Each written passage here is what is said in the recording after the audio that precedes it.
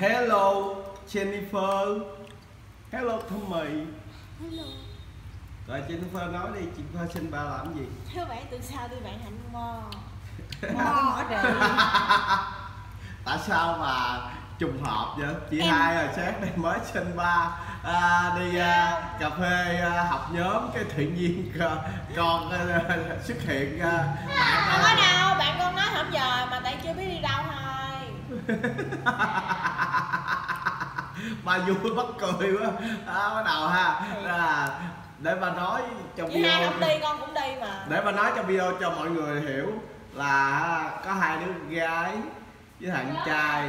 À, đứa gái nhỏ này là học lớp 10 nè và đứa gái lớn này nè là học à, lớp 12 nè. Đó nó đang ngồi chăm sóc chó là đó. Cái cục cưng cái chó vậy à, các cục cưng của nó Trời ơi, hai cục thấy một con muỗi nó đậu lên tay con nó đang hút máu. Rồi đập nó đi xong rồi nè. xong rồi á mà hãy chị hai á mà đi chơi với bạn á là bắt đầu chị Jennifer ba này chị ba này á là bắt đầu kiếm kiếm uh, ngủ bạn sẽ đi chơi đi chơi cùng. Đó rồi. Bây giờ mà ngược lại Jennifer mà đi chơi với bạn á là sẽ chị hai là ngày mai sẽ kiếm cớ bạn con cũng ờ, ngủ con đi học nhóm rồi bạn con cũng ờ, đi vô mo này kia đồ đó.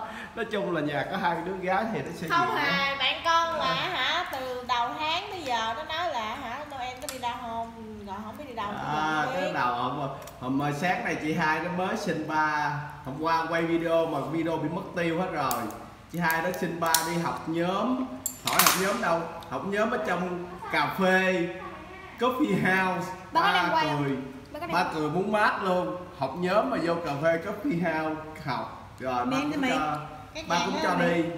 Bây giờ tới chị ma phơ ba đi à, Bữa mo làm gì. Chơi. Chơi à, chứ phải học nhóm giống chị hai hả? Hả? À, vậy là cái này lý do à, rõ ràng hơn chị hai. Rồi chừng nào đi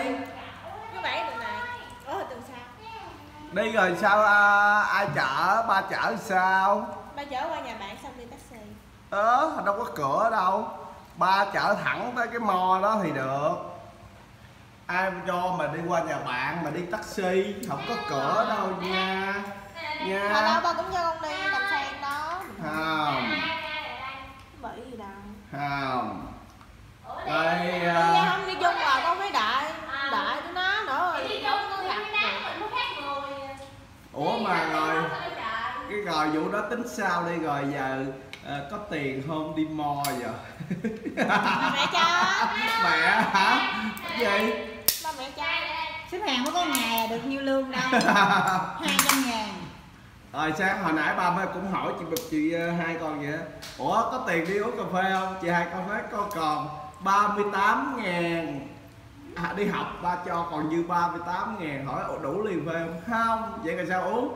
Cái chị hai nói thì xin ba. Ủa đúng rồi chứ giờ có làm ra tiền đâu Tiền của ba, mẹ hết. Cười. Ở đâu ra nữa trời? Để xin hàng sớm